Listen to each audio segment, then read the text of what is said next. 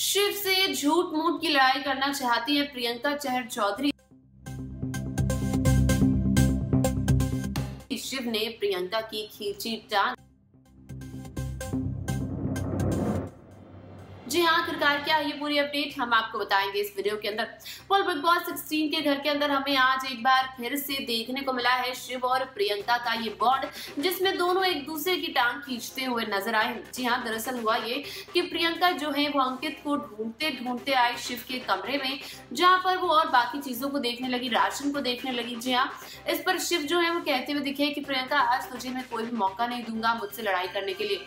और यहाँ पर प्रियंका को मिल गया मौका। जी हाँ प्रियंका जो है, वो देखती नज़र आए कि उनके सामने रखे हुए हैं पपीते और पपीते जो है वो खराब हो रहे हैं, जिसको लेकर वो कहती नज़र आए शिव को कि शिव, ये जो पपीते हैं वो तुम कॉमन राशन में रख सकते हो, सभी लोग खा लेंगे। अगर खराब हो रहे हैं, तुम्हें नहीं खाने हैं तो तुम इन्हें खराब क्यों कर रहे हो? जी हाँ। और इस पर शिव जो है वो प्रियंका की टांग खींचते हुए नज़र आए कि मैं तुम्हें कोई भी मौका नहीं देने वाला हूँ मुझसे झगड़ा करने के लिए। तो तुम बेफालतू के मुद्दे जो है वो मत ढूंढो। जी हाँ प्रियंका कहती हुई नज़र आई है कि भाई, मुझे नींद आ रही है, कोई मुद्दा नहीं है घर के अंदर, मैं किससे झगड़ा करूँ?